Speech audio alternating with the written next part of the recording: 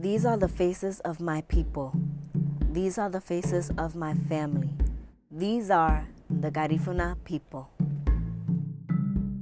It all began in the 1600s, where two Spanish slave ships carrying West African slaves went off to the island of St. Vincent. This is where they made their new home. On this island, they mixed and intermarried the native people. These new people became known as the Garifuna people.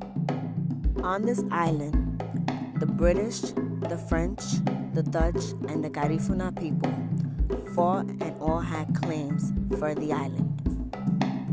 In the 1700s, Europeans signed a treaty to give St. Vincent to the British. While the British continued to colonize the area, they wanted to use the Garifuna's land to plant sugarcane. And when the Garifunas refused to give up their land, the British provoked them to open war. The Garifunas became sick and almost died out from famine. Because of this, they finally surrendered. The British deported 5,000 Garifunas off to Roatan, an island off the coast of Honduras.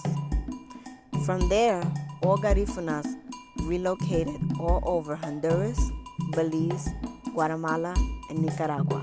There is now an estimated population of 300,000 Garifunas in Central America, while there are 100,000 in the United States, Los Angeles, California, Houston, Texas, Miami, Florida, Chicago, and New York.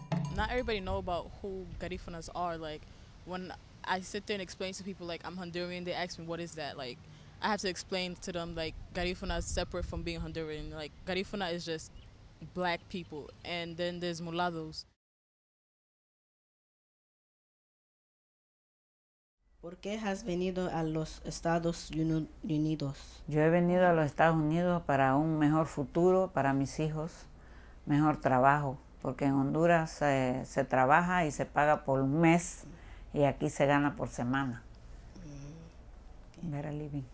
Do you feel like our foods relate to other countries? Ah, uh, yes, it's a lot of food in here that is in my country too.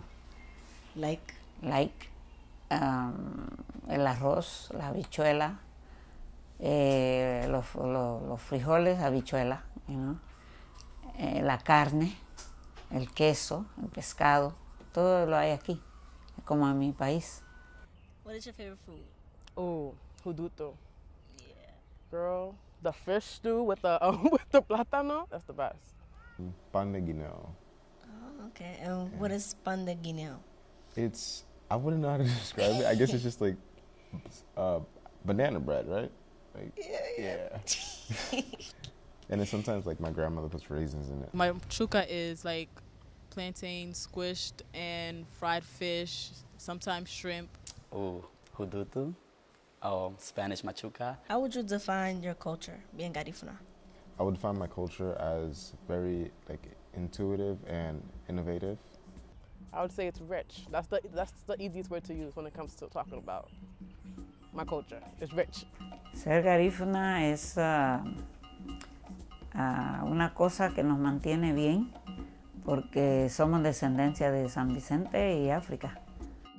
Can you tell us um, some of the dances and describe them? Some of the dances, I'm gonna start with my favorite ones. Um, the punta, which is like everybody knows. Its background comes from like rituals when it was a wake or when somebody had passed away. Those were the only times that this dance was um, performed, and it was only done by adults. No kids was allowed. With our generation, those rules have been broken. Now everybody dances it, and it's like one of our most popular um, dances. The Wanaragua, that's a male dancer. The battle that the Garifunas and the Caribs had back in St. Vincent in the 1700s, they used their outfit and this dance to pretend and act as women in order to fight the British. How did your culture change compared to how your parents grew up? Well, it has changed due to the fact that, you know, like I said before, um, a lot of the generations don't practice what it was practiced before. Like, a lot of our cuisine is almost being lost. A lot of our youth don't know our cuisine. tienen que saber su cultura porque ahora se está perdiendo la cultura de Garífuna porque los padres le hablan español a sus hijos y en los tiempos de antes nosotros hablábamos Garífuna y íbamos español en la escuela. Garifuna is like also a language, so mm-hmm. that for for our youth to know, so that it doesn't die out. knowing the dance, knowing the the religion, knowing the culture, knowing the you know the food wise, the, the music, you know all that. That's my definition of being a Garifuna. Gawara nego algo bulo Garífuna que genga dinalu nereno eh, y que nunca balana bulle iduni a pesar de que me digan nada.